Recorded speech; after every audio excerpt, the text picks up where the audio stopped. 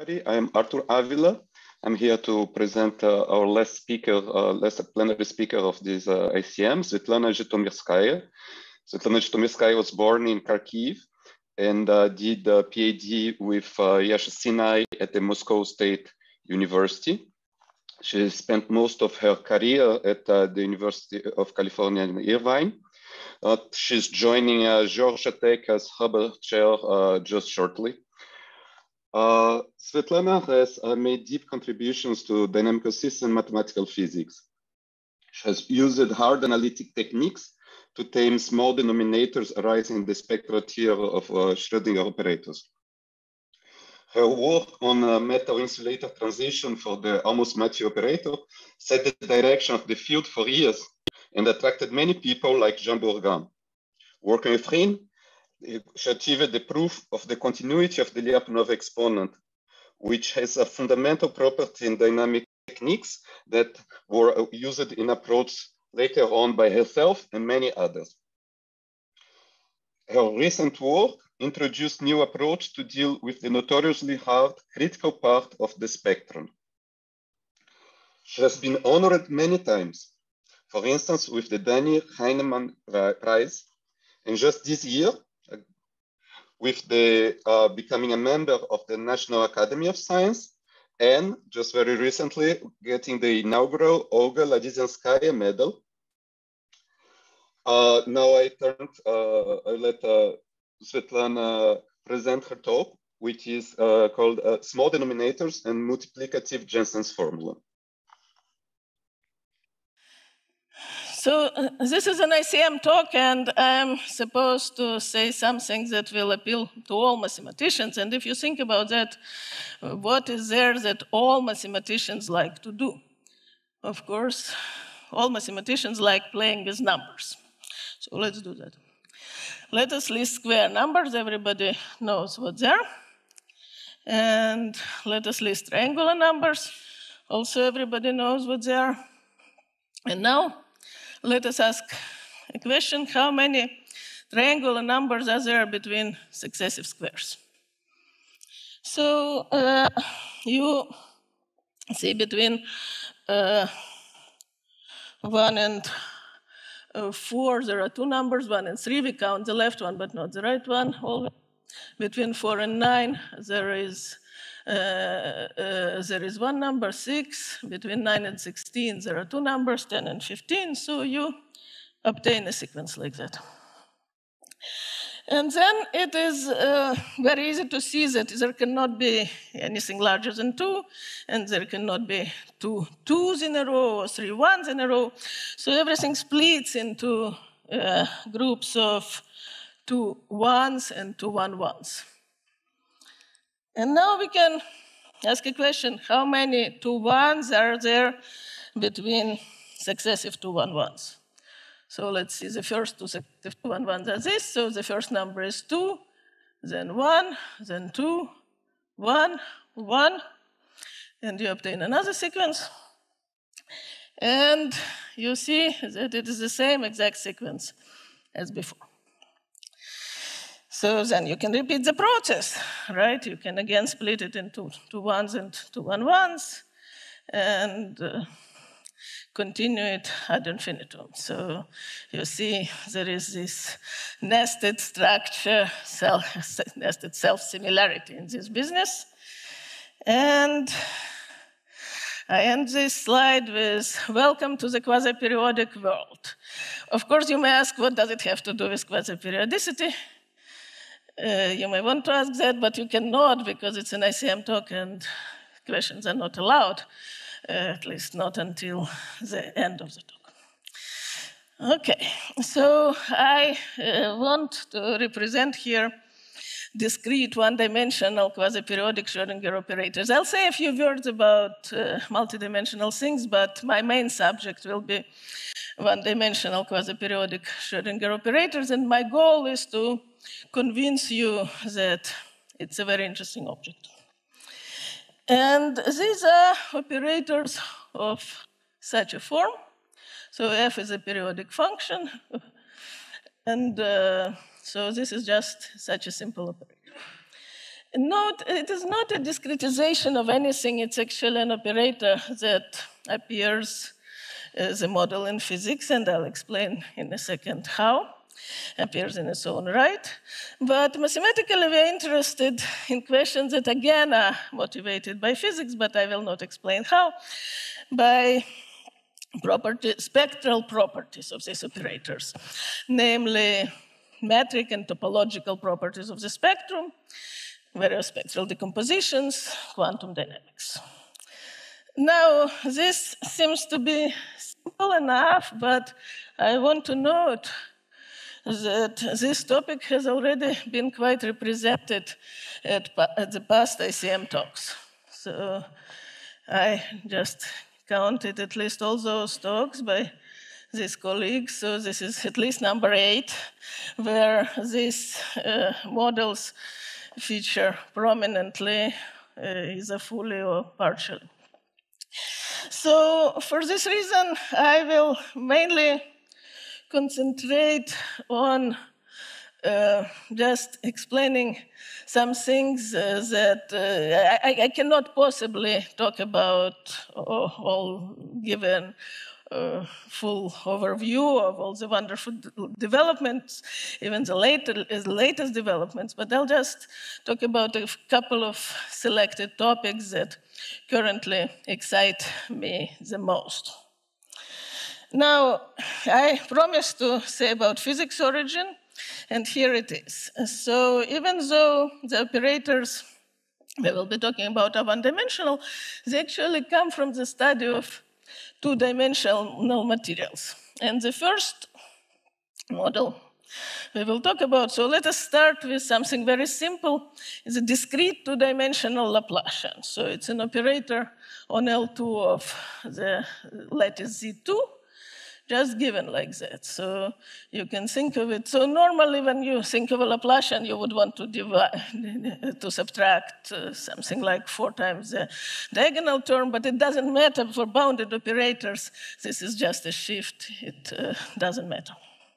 So we just keep it like that for simplicity. So again, as I said already, this is not a discretization. It comes uh, from physics. It's so-called tight binding model of an electron in a uh, two-dimensional crystal. And the spectrum of this operator is interval minus 4, 4. So let me briefly remind what the spectrum is. Uh, uh spectrum is uh, not just a collection of eigenvalues that some people might think, but uh, spectrum is defined as the set of E such that H minus E does not have a bounded inverse. And a quick example is a multiplication operator. If you have a measure space and operator acting on L2 of this measure space, just multiplication by a function f. And then it's very easy to figure out what the formal inverse is, and therefore uh, E's are in the spectrum. If and only if this is not a bounded operator. And that means that the spectrum is just the essential range of the function f. And this is, uh, spectrum is a unitary invariant. This is important. And the uh, central theorem in the spectral theory is that every self-adjoint operator is actually unitarily equivalent for an operator like Z for some f and some measure space mu. So this is not just an obscure example, this is a central example in some sense. And this is why it's very easy to figure out the spectrum of this discrete two-dimensional Laplacian, because by just taking Fourier transform on both variables, you see that it is unitarily equivalent to multiplication by 2 cosine x plus 2 cosine y on L2 of the two-dimensional torus. So the spectrum is the range of this function, which is minus 4, 4, as I said. So now let us add a magnetic field to this two-dimensional Laplacian. So what does it mean to add a magnetic field? It means to basically choose a gauge this is this assignment on the edges A and B that when you go around a square, you incorporate the flux to pi alpha. So a good example is what is called Landau gauge, is when you assign each A to be just zero and B to be 2 pi m alpha, then you, when you go in the counterclock order, you exactly incorporate 2 pi alpha. And how does this gauge enter? You, it just enters as such uh, unit factors in front of the corresponding connections. So this is uh, one representation of an operator of two-dimensional Laplacian subject to a perpendicular magnetic field, uniform magnetic field with flux alpha. Uh, so once again, uh, uh, this, this actually idea to study electrons in two-dimensional crystal subject to perpendicular magnetic field uh, first appeared in the work of Peierls in 1930s. But uh, I'll talk about that a little bit later. But let us uh, again go back to the spectrum. So if alpha is zero, we see uh, we just figured out that the spectrum is an interval minus 4, 4. So what is the spectrum when you turn on the alpha? Maybe very small, or whatever. And it turns out that the picture is the following. So what is plotted here is uh, on the vertical have uh, uh, Uh, uh, uh, various rational values of alpha. So if alpha is zero, it is here. And on the horizontal, you have the corresponding spectra. So if alpha is zero, the spectrum is minus 4, 4. If alpha is one half, it becomes a two-periodic operator. The spectrum consists of this two-touching interval. If alpha is one-third, the spectrum becomes three-periodic, and the spectrum consists of these three intervals and so forth. So you see this picture is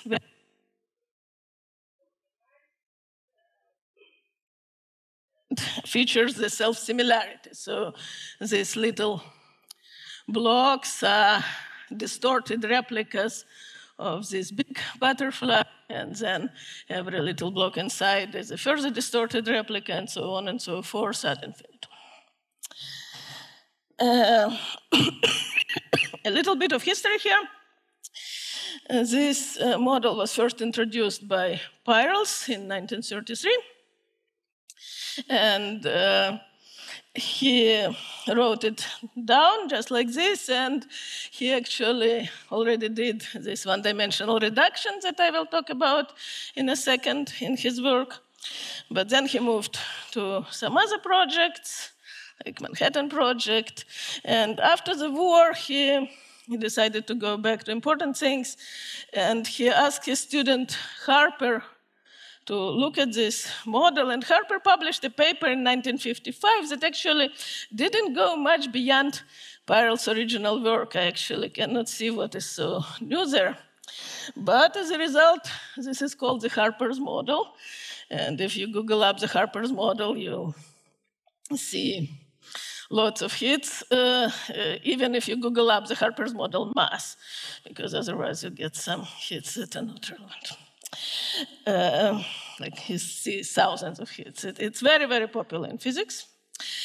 And uh, also, uh, I want to mention that uh, this parameter lambda one can introduce if the lattice is anisotropic. It's also very natural. So, uh, as I said, this model turned out to be very lucky because somehow it keeps being relevant to the coolest six things. And I will not talk much about it, I'll just show this is one illustration. It turned out that this model was uh, proposed by Thouless as uh, being at the foundation of the theoretical interpretation of the quantum Hall effect. This is uh, a pictorial representation produced by Avron and Osadchy. These uh, colors correspond to Chern numbers, uh, different uh, blue colors for negative, red colors for positive, but again, I will not explain that further. So, uh, actually, the interest was uh, really picked up uh, not after uh, or Harper's work, but after Hofstadter, who was also then a PhD student, produced this numerical plot, there is uh, quite an amazing story of how he came up with it against his advisor's will. But uh, notice that it was in 1976.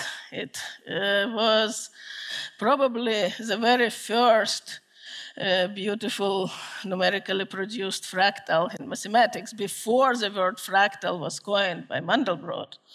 So it, uh, uh, I should note actually that quite remarkably, so this was a purely numerical result, numerical observation, but quite remarkably, the fact that there could be something like that was actually predicted by Mark Azbel uh, much earlier in 1964 before computers, and it's quite mysterious to me how he could have predicted it, but it didn't. Uh, nobody paid attention to it then, and I think Hofstadter didn't know about it. Uh, but anyway, so in 1976, it created quite a stir. David Jennings described it as a picture of God, and Hofstadter wrote in his best-selling book, Gödel, and Bach, that in his view, this Jennings description is not blasphemous at all. So uh, this model uh, keeps attracting a lot of interest. So you see there are lots of other beautiful uh, and recognizable structures embedded here. This is a cover of a book, a recent physics book, entirely devoted to this model. But uh, let me uh, also mention that this uh, model has attracted quite a few prizes. There are several Nobel prizes directly related to it. So quantum Hall effect that is origin that I mentioned, and Thouless Prize for topological insulator also is partially related to his theoretical explanation and then graphene is related because you see such butterflies in graphene. Quasi-crystals is obviously related because it is a quasi-crystal. And then there are some mathematical prizes like Fields Medal and Ladyzhenskaya Prize, right? So basically, uh, if you are a young student thinking of what to work on and you want to win some prizes, I think this model is a champ. Okay.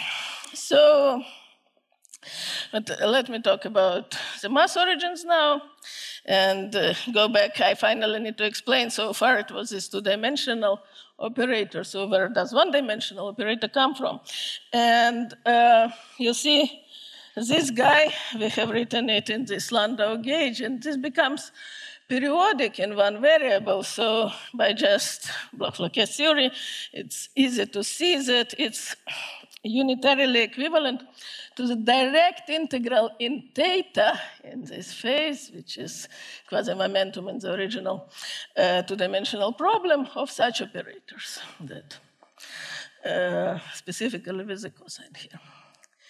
And uh, it's unitarily equivalent to the direct integral, but each individual operator, of course, has a life of its own.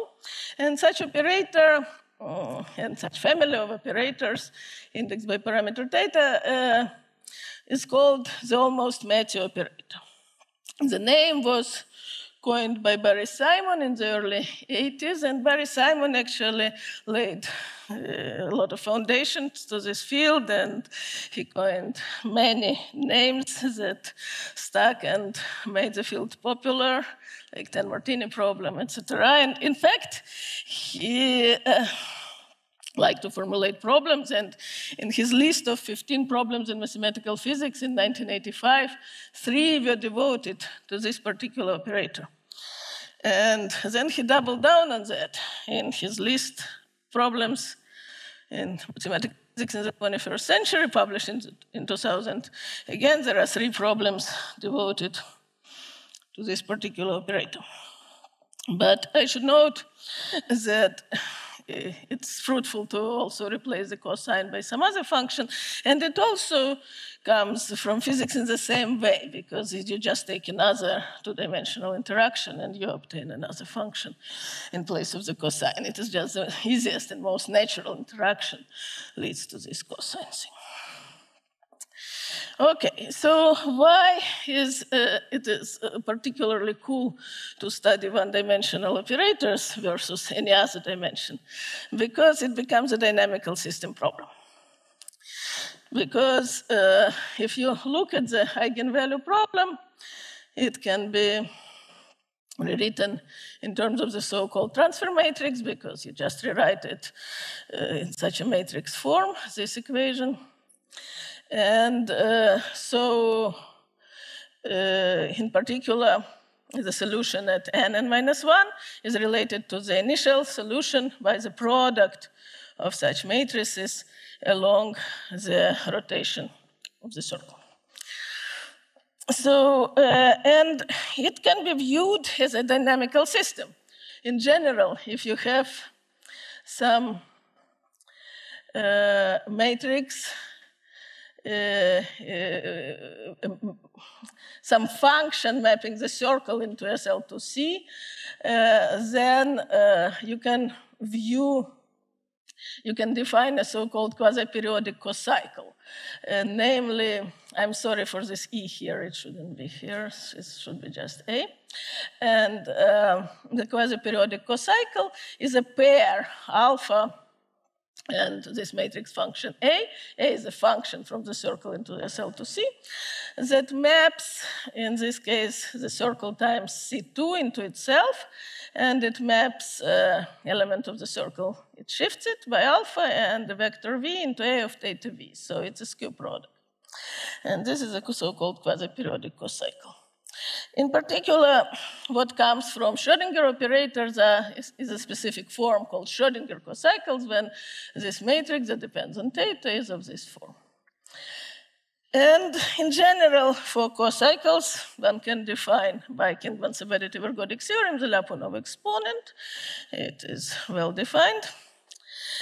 And uh, moreover, one can, of course, consider higher dimensional cocycles, not uh, SL2C, but high dimensional matrices, uh, d-dimensional matrices, and then one can define for, d-dimensional matrices, there will be in general d Lyapunov exponent, which are defined by such limits where sigma k uh, is a k singular value of the matrix AN. AN, remember, is a product of uh, A of x, A of x plus alpha, etc., n times.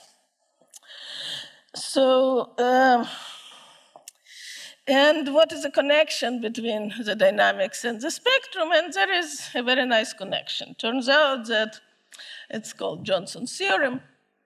Energy E is not in the spectrum of, or in the spectrum of H, if and only if the cocycle as a dynamical system is not uniformly hyperbolic. So, in this sense, spe the spectrum of an operator, one-dimensional operator, is precisely the bifurcation set for this one-dimensional uh, parameter family of dynamical systems. And in general, Schrodinger cocycles turned out to be the simplest classes of dynamical systems that are compatible with both KAM phenomena and non-uniform hyperbolicity. So, uh, going back to the almost Mathieu operator, there is this nice, actually, it uh, turned out that Lyapunov exponent can be simply computed on the spectrum for irrational alpha. And uh, simply, it turns out that one can go, uh, so you, you, you see, uh, it, uh, Lyapunov exponent is bigger than zero if and only if this lambda is bigger than one. And of course, Lyapunov exponent measures exponential growth of solutions potentially. And the biggest difference is, in some sense, between the situation when it is zero and when it is not zero. And indeed, but with a little catch, um, by now there are very well developed methods and many, many beautiful results that all suggest that for lambda less than 1, so-called subcritical, because lambda equal to 1 is called the critical value, there is a metal-like behavior in this model, uh, manifesting in many, many ways. And for lambda larger than 1, called supercritical, there is insulator-like behavior, but uh, there is a lot more complexity there in some sense. So, and there are different methods based on reducibility for this region, based on localization for this region. For lambda equal to one, the critical value, it's a boundary of both regions. It's a lot more mysterious and it's still less understood. Uh, so let me now talk about a very powerful idea of complexification of analytical cycles. I think it goes back to Michel Herman, who in 83 probably used this idea for the first time, as far as I know, to actually show the inequality. It turned out to be equality on the spectrum, but he showed the inequality for the almost Mathieu operator by studying the complexification and subharmonic methods, very simple and beautiful argument. So what do I mean by complexification? You can just, uh, if it is an analytic function, uh, a of x, so you can consider a of x plus i epsilon. And similarly, the Lyapunov exponent exists, so you can define L epsilon. So the power of complexification was really, uh, has really come to light in uh, Artur's Artur Avila's work in 2010 called Global Theory. And it is, I will not uh, talk fully about it, but it is based in some sense on studying this L epsilon as a function of epsilon. And in particular, he observed that this is a convex function. And uh, that means that this, this object that he called acceleration, so just the derivative uh, at zero of this guy is well defined. And again, I will not talk much about it, but basically, uh, the substance is that he proposes the division of the spectrum into three regimes that uh, modeled by the almost Mathieu. He called them subcritical, supercritical, and critical. And the biggest part is that critical generically does not exist. Uh, quite annoyingly, it does exist for the almost Mathieu, but generically it doesn't. And in the subcritical, uh, which is defined uh, uh, because you, see for the almost Mathieu in both critical and subcritical Lyapunov exponent is zero on the spectrum, but there is a big difference.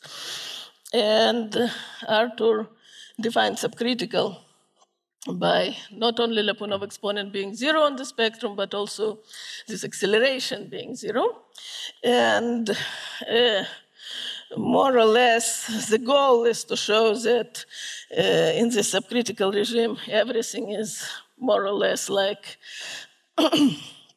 for in the subcritical almost Mathieu regime, and it's largely achieved.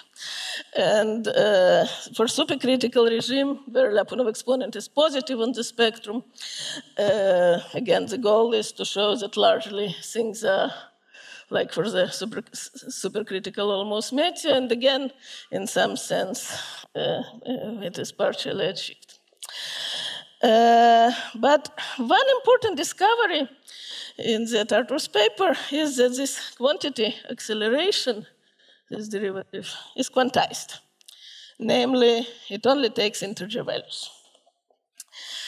So if then if you plot uh, this function, L is a function of epsilon, uh, like that, so that is how it looks all the slopes are integers here. Uh, we take 2 pi epsilon on this axis. And uh, of course, once something is necessarily an integer, there is some topology involved, and indeed, uh, these uh, slopes are certain winding numbers, but still, uh, it's been quite mysterious. Uh, several things. First of all, what are these epsilons? They're clearly intrinsic features of your operator. So, how can one what can one say about them? And actually, other than uh, why are slopes exactly, uh, what are these slopes? So they are uh, winding numbers, but it doesn't, saying that doesn't reveal much. But if you think of this picture, you may realize that you have seen it somewhere before. And where you've seen it, is the classical Jensen's formula. Because here is a little non standard way to write the classical Jensen's formula, but it is actually uh, the classical Jensen's formula, nothing else. And if you plot this as a high epsilon as a function of epsilon, you get precisely this same graph. And these guys, the turning points are logarithms of the absolute values of zeros of the function f. And uh, the slopes are the number of zero up to the, of zeros in the circle of the corresponding radius. So it has very uh, clear meaning. Now, I want to observe that, of course, everyone knows Jensen's formula, but uh, to a dynamical systems person, Jensen's formula can also be viewed as a formula for the Lyapunov exponent of a SL1C cocycle. It's an obvious statement, kind of, because the integral to this guy, because it is just the sum of identical quantities divided by n, so it's also equal to the limit. So it's an obvious statement that the Lyapunov exponent of uh, uh, a, a SL1C cocycle is equal to this logarithmic integral. And therefore, this graph is indeed the graph of the behavior of the Lyapunov exponent as a function of epsilon. And uh, then, uh, so you see, uh, of course, this is a, a, trivial Lyapunov exponent because everything is commutative and uh, right, but it's a very natural question whether there exists a multiplicative analog or non-commutative analog, if you will, of the Jensen's formula. Because like you have ergodic theorem for functions and then you have multiplicative ergodic theorem for matrices. So it is very tempting by looking at these two graphs to think that there is a multiplicative version. And indeed there is so this is true for Lyapunov exponents of Schrodinger cocycles. You see that it is the same exactly as Jensen's formula, where the roles of the logarithms of absolute values of zeros is played by the object that we call dual Lyapunov exponents. And let me explain what this is. Uh, but before I do, so basically, this demystifies, this answers those questions that I asked about these mystery objects in global theory, what are these turning points and what are the slopes. The turning points are just dual Lyapunov exponents. In some sense, these are Lyapunov exponents of the dual model. I will explain it in a second. And uh, the slopes are the number of dual Lyapunov exponents less than a given epsilon. So, to explain what the, these dual Lyapunov exponents are, I'll just briefly mention that there is this central uh, technique, central transformation in all this quasi periodic business called the Aubry duality, which is basically a map from. So remember, we discussed that this two-dimensional operator is unitarily equivalent to the direct integral of one-dimensional operators in the Landau gauge. So this uh, L2 of S1 cross Z, you can think of it as the space on this on which this direct integral acts. So this is a unitary from this L2 of S1 cross Z into itself that simply acts as a certain skewed Fourier transform. Uh, and uh, it has been explored on many, many different levels and has been extremely fruitful in this theory. But actually, understanding what this is uh, pictorially is very easy because remember, this original two-dimensional operator in magnetic field, if you choose different gauges, you get a unitarily equivalent operator. So this transform actually corresponds to simply a different gauge, to the pi over 2 rotation of the gauge. It's a very natural transform if you look, remember the two-dimensional nature of the model. And so what are these dual Lyapunov exponents? Well, under this transform, this operator family, indexed by x, turns into a dual family uh, indexed by theta, where you have this uh, Toeplitz matrix with Fourier coefficients of V uh, uh, on the lines parallel to the diagonal, and this cosine uh, for the potential. So, uh, as you see from this formula, the uh, special nature of almost, the almost Mathieu family is that it is self-dual with respect to this operator in some sense, to, to this transformation. But uh, in general, that's how the duality works, because the discrete Laplacian under the Fourier transform turns into multiplication by the cosine, and V turns into this. And uh, it's a little more complicated when V is an analytic function, but let's think for a second that uh, V is a trig polynomial, and then it's a finite sum. And similarly to how we did it before, we can study it as a dynamical system, and it turns into, it leads to a symplectic sp2d to d cocycle.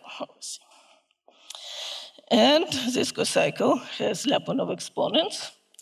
And our dual Lyapunov exponents are precisely the Lyapunov exponents of this dual cocycle. In the analytic case, we actually prove that there are certain limiting objects that exist. And note that from this point of view, one can also understand the classical Jensen's formula spectrally. Because if you look at a pure diagonal operator, with v of x plus n alpha on the diagonal, then uh, its Lyapunov exponent is precisely equal by, to the logarithmic integral, right? Because it's limit of the logarithms of this product, of integral of the logarithms of this product over x divided by n. So this is precisely the logarithmic integral. And the dual operator becomes a constant Toeplitz matrix. And then you can write down the corresponding constant symplectic cocycle. And its Lyapunov exponents are simply its eigenvalues. One can compute them. And this computation precisely gives uh, logarithms of absolute values, of the absolute values of zeros. So what does this tell us? This tells us that you thought you knew what are the zeros of analytic functions, right? But in reality, logarithms of the absolute values of zeros of analytic functions are Lyapunov exponents. They are dual Lyapunov exponents, right? That's the proper and generalizable way to view them. Uh, and uh, all this has various very nice spectral corollaries. And for example, I'll just give one quick corollary. One can fully characterize the spectrum of an analytic operators with analytic potential by Lyapunov exponent and the dual Lyapunov exponent. The spectrum is precisely the set when at least one of those is zero. Okay, so I will now move to the second topic that excites me the most currently, and this is sharp analysis of small denominators. And uh, let me introduce small denominator problems first. And uh, you see, these problems appear immediately when, and appeared historically, people started thinking of them when they started thinking about the problem of the stability of celestial motion. Because uh, two body problem can be solved, at least some people can solve it, and uh, we know the solutions very well. But of course, in reality, celestial bodies are subject to many, many forces. There are many, many bodies. It's just small perturbations, but the motion should be stable with respect to this small perturbation, and then it should be provable. And already with the three body problem, which uh, you encounter an issue. And this problem really preoccupied Henri Poincaré, who actually solved it in 1889. He wrote a paper on the problem of the three bodies and the equations of dynamics. And this paper really answered this question of stability of celestial motion for three bodies at least. Everybody was very happy. And it won the King Oscar Prize. And it was scheduled to be published by Acta Mathematica on the King's birthday. But then Phragmén and Poincaré independently found errors, so this is a dramatic story. Poincaré spent more than the prize money to withdraw all the issues of the journal.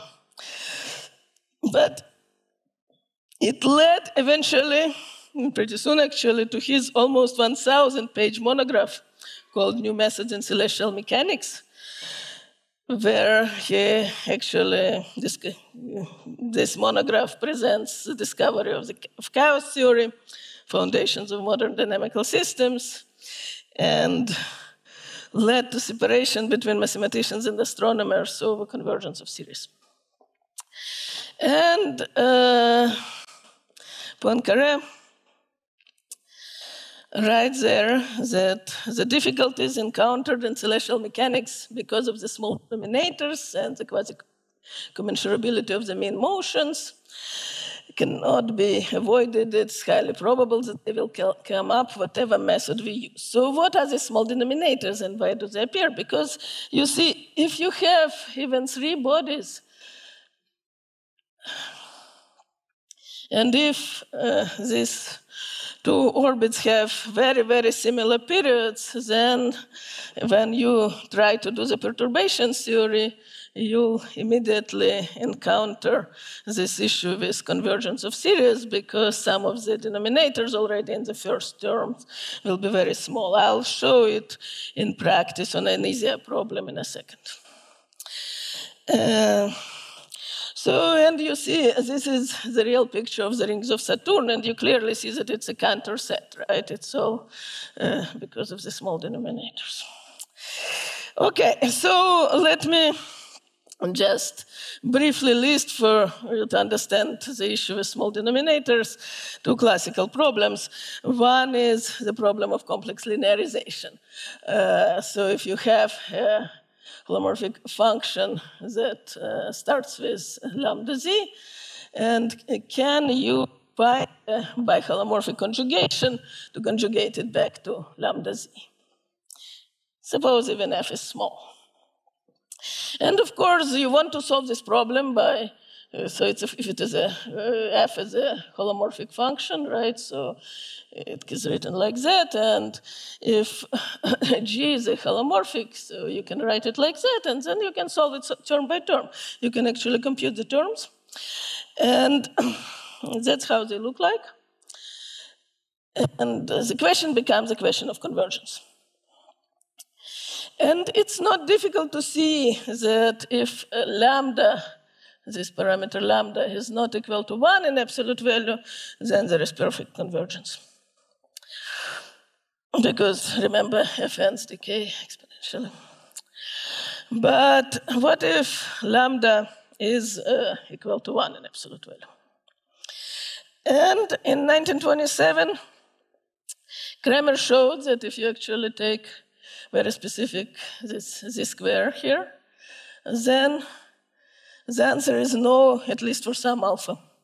There is a topologically large set of these alphas here, such that there is a periodic orbit in every neighborhood of zero. So no chance, of course, that you can conjugate it to just lambda z.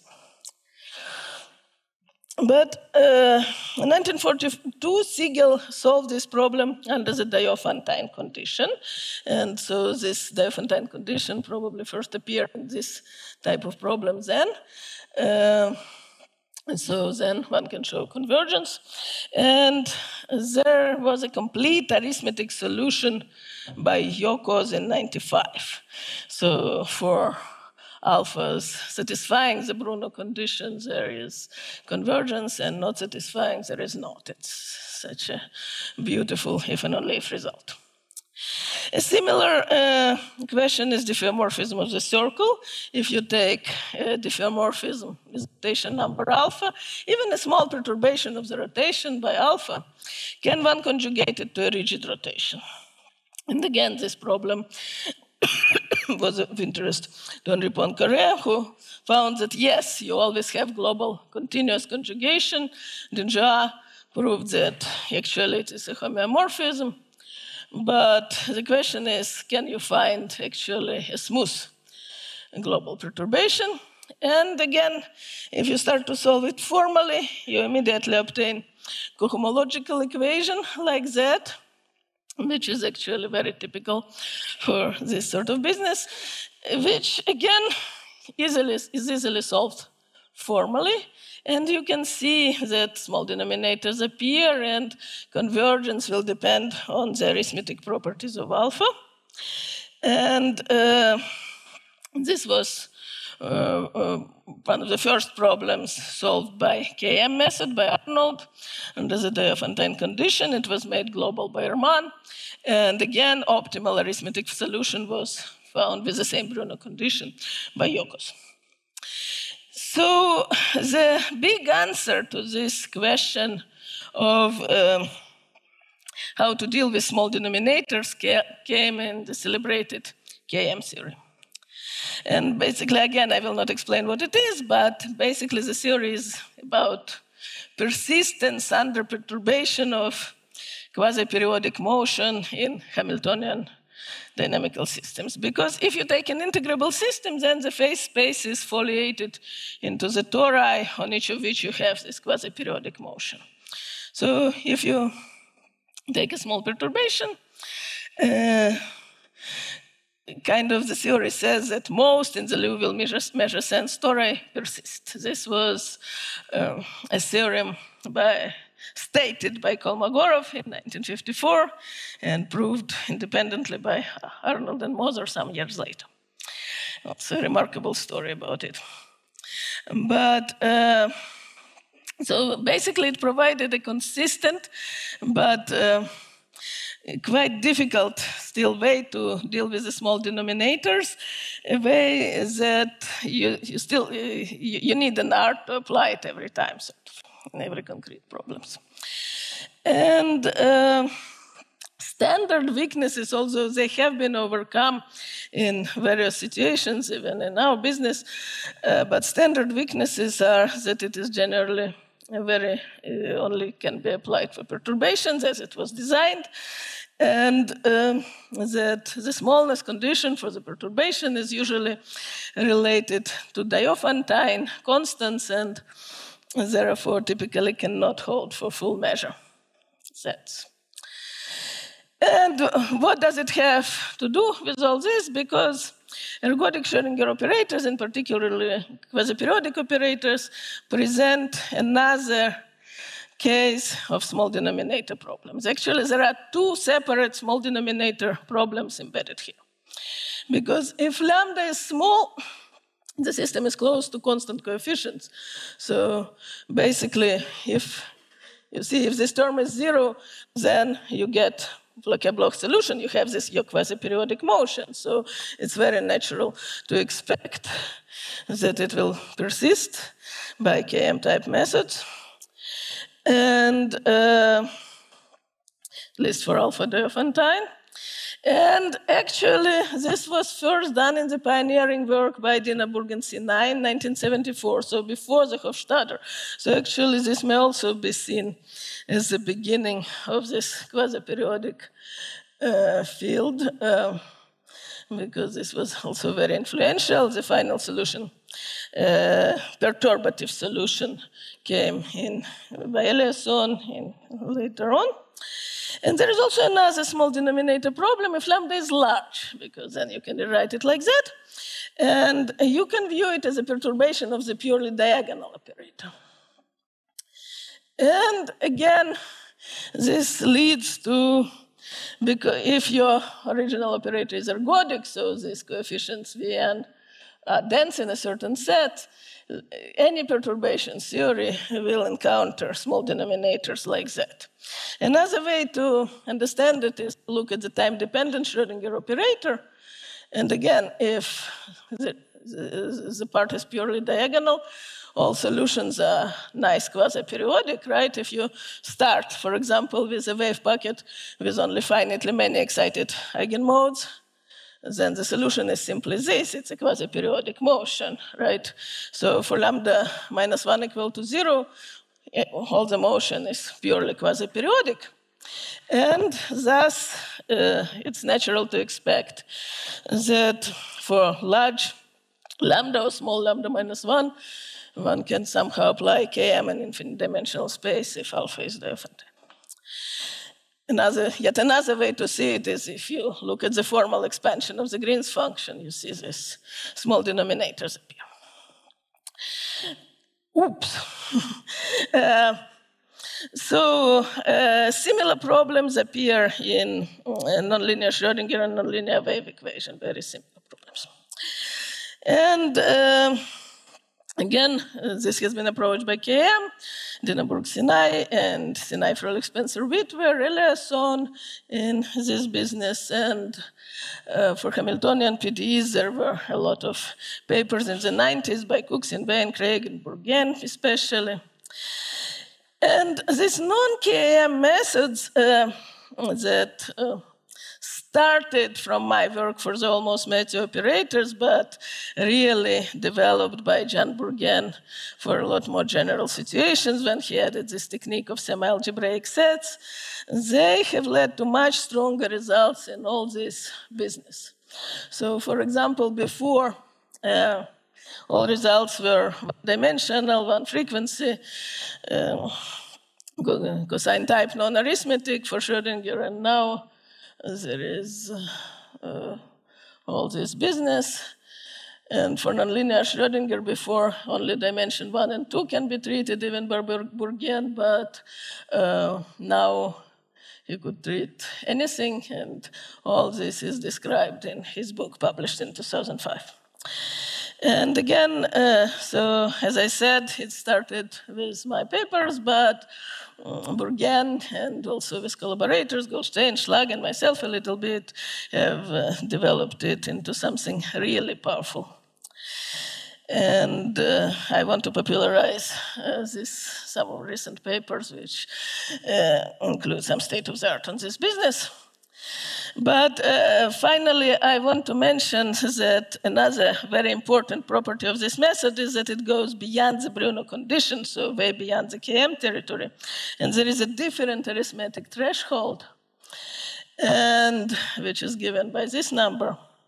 And it allowed to solve several problems, just like Yoccoz solved this other problems that I mentioned. It allowed to solve several uh, quasi-periodic problems up to the actual arithmetic threshold. So I list those problems here. And then is it allowed some really wonderful analysis um, uh, of self-similarity in the structure of eigenfunctions. So uh, there is this uh, precise structure that happens around every local maximum. So you have this picture, like at the beginning of the talk, where you do have self-similarity. You see it precisely, and you can describe it precisely in the function. And this is how papers with Wencai Liu and some current ongoing work. Thank you very much.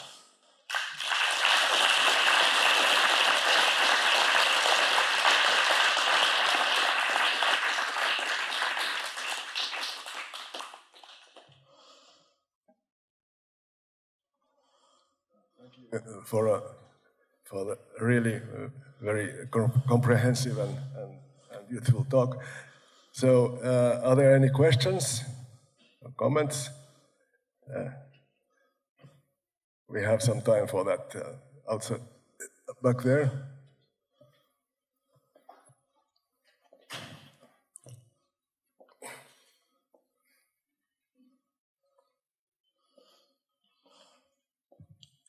Yeah, so I was I was wondering, like, if there is there some a priori heuristic reason why you expect this operator to have a fractal spectrum?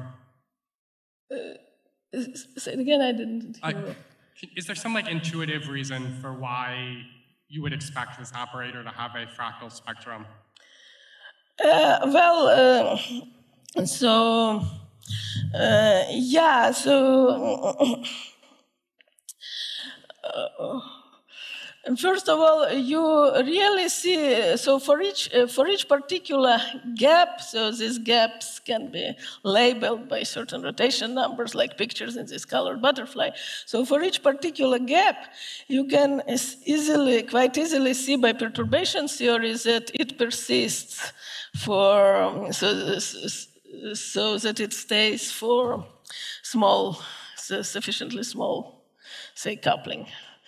So uh, you do see these gaps opening uh, quite easily by perturbation theory, but only this only gives you finitely many gaps for each fixed lambda.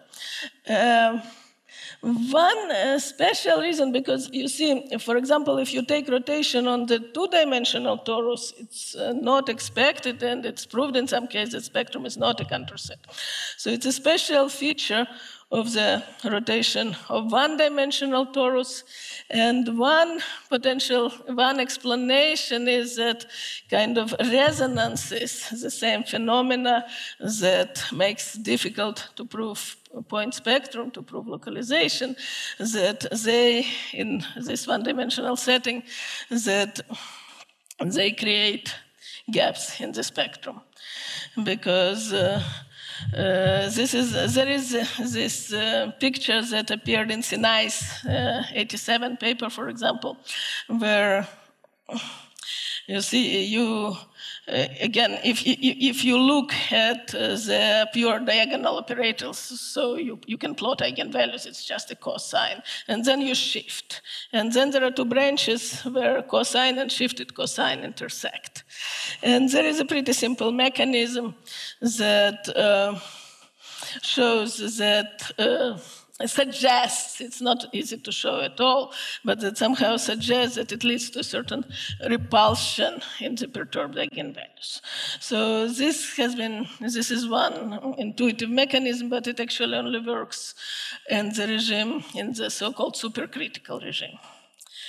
But in the subcritical regime, there is this also perturbative mechanism that somehow allows to show that each individual gap persists. But the fact that it holds throughout all parameters and throughout uh, all couplings, all arithmetic parameters is actually kind of a little bit of a lucky situation, I think. It's not entirely clear why it should be like that. Okay, thanks. Okay.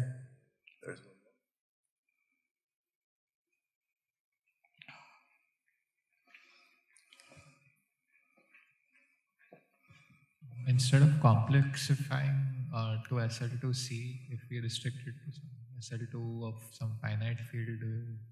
Uh, Sorry, can you say it again? Instead of going from SL2R to SL2C. Yes go to some finite field and then study the properties. Finite field? Yeah. Uh, no, that's not my territory at all. Sorry, I don't think. okay, I think uh, our program is approaching its end. So there are no other questions, let's thank Svetlana again.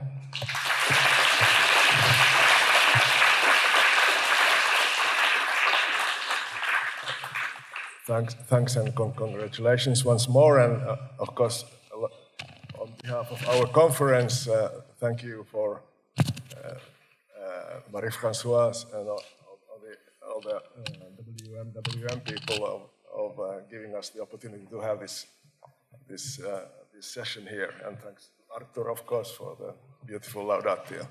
And maybe to say something still.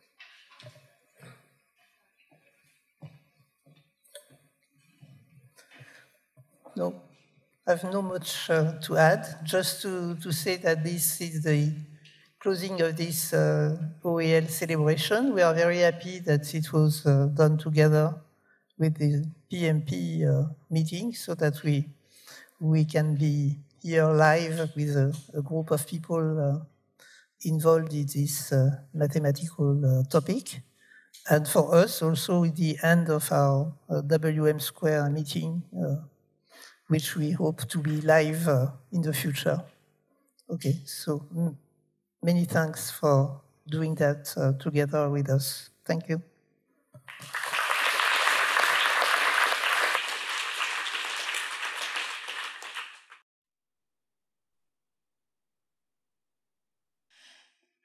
So uh, this is an ICM. Uh, thanks, Svetlana, for uh, this uh, brilliant lecture.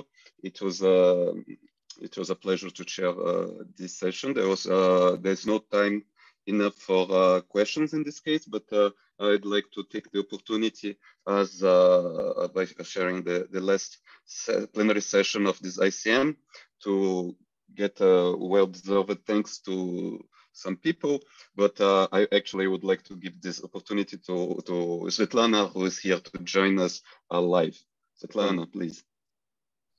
Thank you very much, Artur, And uh, it's indeed a great honor to be the last speaker and to get to say, say thank you to the organizers of this Congress, both to the original organizers, especially Andrei Okounkov and Stas Smirnov, who really did a great job putting together what's supposed to be a great live Congress but uh, and uh, to the to Carlos and all the others who saved the Congress uh, in these extraordinary times and uh, made a great virtual Congress that has just happened. Uh, it is really amazing how it was done basically in no time and in no budget, and it's turned out to be a truly amazing Congress and amazing experience, and to thank everybody who